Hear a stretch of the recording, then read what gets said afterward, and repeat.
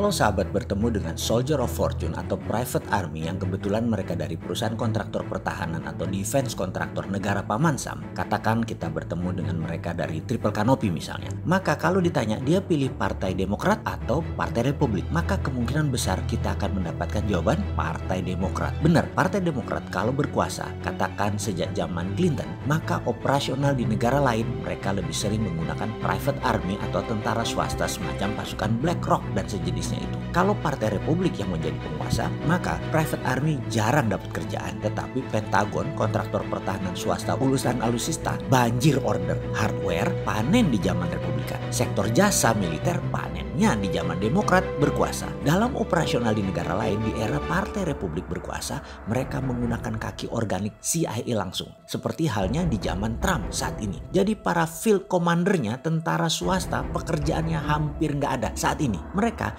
stationnya di negara mana pun tapi hanya wandering around. Nggak ada target operasinya. Paling jadi silent army-nya Intel, infonya CIA yang sedang beroperasi di sebuah negara. Perlu diingat sekali lagi, private army ini belum tentu warga Amerika. Semua negara bisa. Mereka soldier of fortune. Siapa yang bayar, target jelas, selama ada kontrak 1-2 tahun mereka kerjakan. Wilayahnya bisa di mana pun di seluruh dunia. Ada 200 negara di dunia ini, ada 800 pangkalan militer Amerika di luar Amerika. Pangkalan militer Amerika itu mulai dari yang terang-terangan berupa pangkalan militer atau floating markas atau banyak lagi modelnya hingga sampai sekedar safe house yang nggak jelas lokasinya mereka punya. Jadi kalau menggunakan tentara swasta ini ya bisa saja orang Malaysia yang mereka pakai ya orang Filipina, orang Singapura beredar di Indonesia bukan bule mata biru karena karena mereka harus berbaur dengan orang lokal. Kalau bule tak apa ya cakap Melayu mereka taklah dipakai mereka itu. Jadi peta di setiap negara oleh CIA saat ini dicacah dan dibedah detail, rinci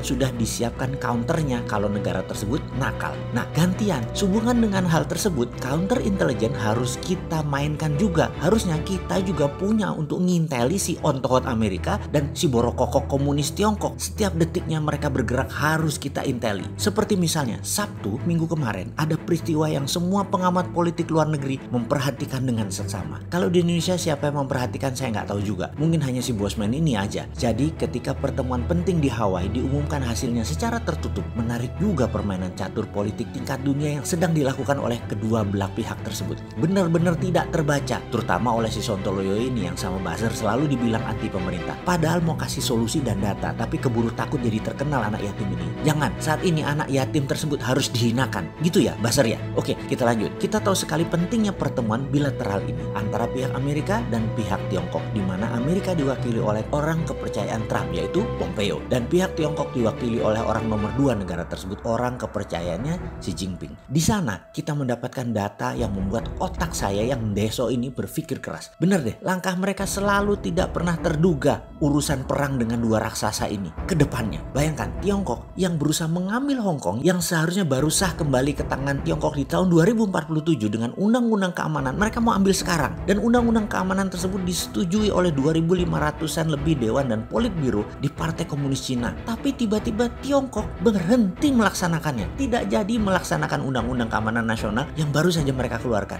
Catatan, perlu diingat, tidak jadi ambil Hong Kong. Apakah ini tanda-tanda Tiongkok kalah atau Tiongkok punya agenda lain yang bisa membuat Amerika menyerah? Apakah strategi Amerika yang memblok rekening para politbiro di luar Tiongkok menggetarkan nyali Tiongkok dan Amerika efektif memenangkan perang dagang ini? Tetapi kenapa Tiongkok saat ini agresif di India, agresif di Jepang dan di Laut Cina Selatan? Ketika dipaksa main tiga front, apa Amerika berat dan memilih negosiasi dalam bahasa diplomasinya Amerika yang kalah? Namun ketika pihak Tiongkok dalam pertemuan di Hawaii menyatakan kalimat titik-titik-titik, semua pengamat geopolitik dunia terkejut. Hah, nggak salah nih langkah Xi Jinping. Kalau benar hal itu dilakukan oleh Tiongkok, artinya suara Trump bisa naik 20% di Amerika dan bisa-bisa Trump memenangkan pilpres November nanti. Nggak salah nih Tiongkok. Kompensasinya apa tuh Tiongkok dapat? Asli banyak pengamat saling diskusi debat dengan berbagai analisa. Saya hanya bisa menunggu hasil mereka. Nggak berani komen. Bener deh, pengen sih membuka apa yang kalimat Tiongkok itu ucapkan. Tapi siapa yang peduli di Indonesia ini? Politikusnya, pejabatnya, masyarakatnya, rasanya nggak ada. Ya wis, tak simpen wae lah.